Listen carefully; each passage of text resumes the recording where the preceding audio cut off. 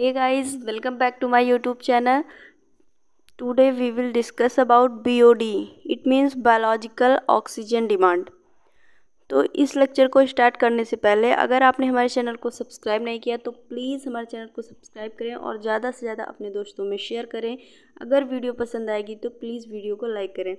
तो चलिए, आज का अपना टॉपिक स्टार्ट करते हैं BOD जो कि है तो छोटा लेकिन बहुत ज़्यादा इंपॉर्टेंट है।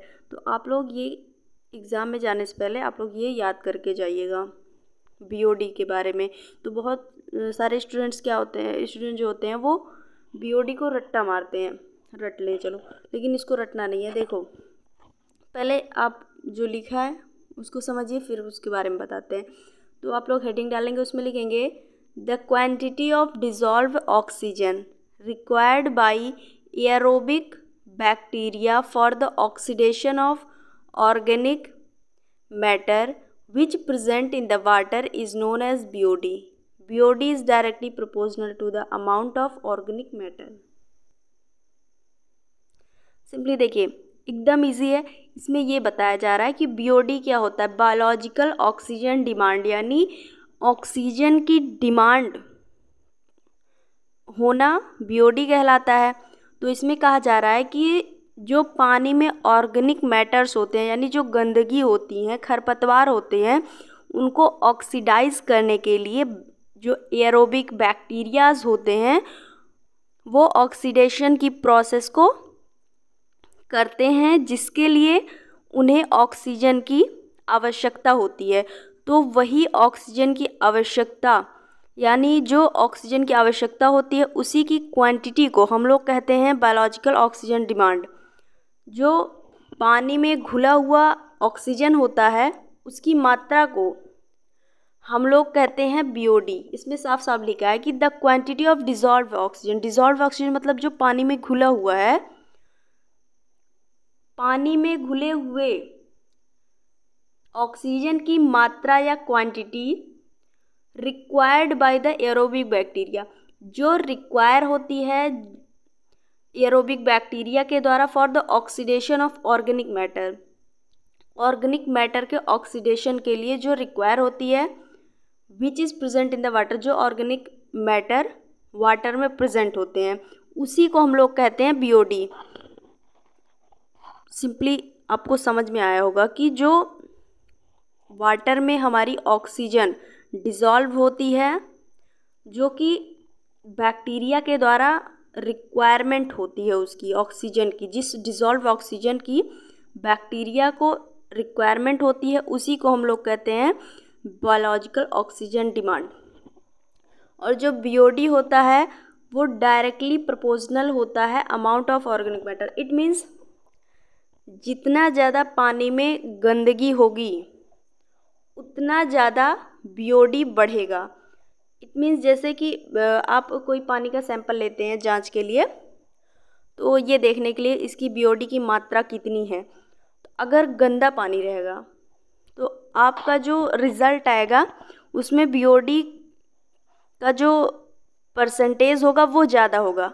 अगर आपका पानी साफ़ सुथरा है और उसको अगर जाँच के लिए आप भेजेंगे, यानी उस, उसमें गंदगी नहीं है तो उसमें बीओडी की मात्रा कम होगी, क्योंकि ऑक्सीजन ऑक्सीजन की मात्रा कम की होगी? क्योंकि उसको कम ऑक्सीजन की आवश्यकता होगी।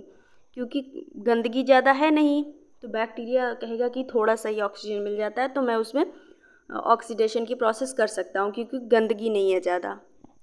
तो आई थिंक आप लोगों को समझ में आया होगा कि बीओडी क्या होता है।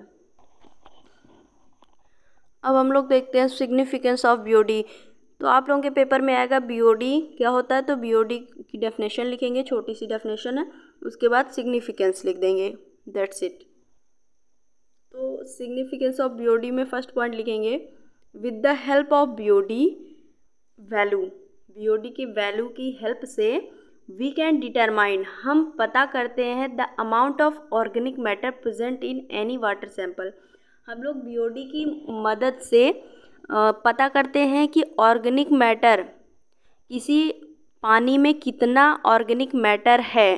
अगर हमने बताया ना कि डायरेक्टली प्रपोजनल होता है।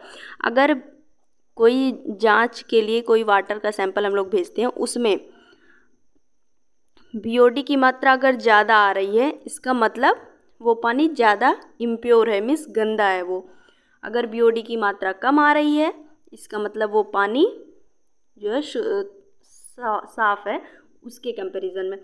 तो अगर बीओडी की मात्रा बढ़ेगी इसका मतलब होता है कि पानी गंदा है यानी पानी जो है वो पोल्यूटेड है। बीओडी की मात्रा कम है यानी जो पानी है वो कम पोल्यूटेड है।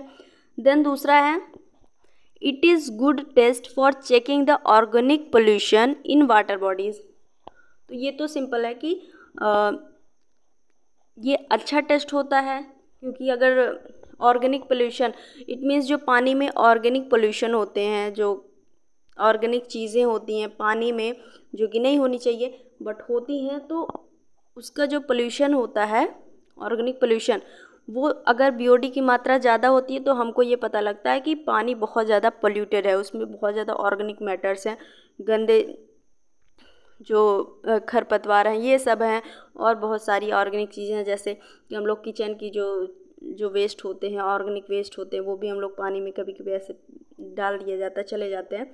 तो इस तरीके से हम लोग ये भी डिटरमाइन कर सकते हैं कि पल्यूटेड कितना है पानी या उसमें ऑर्गेनिक मैटर्स कितने हैं बीओडी की हेल्प से।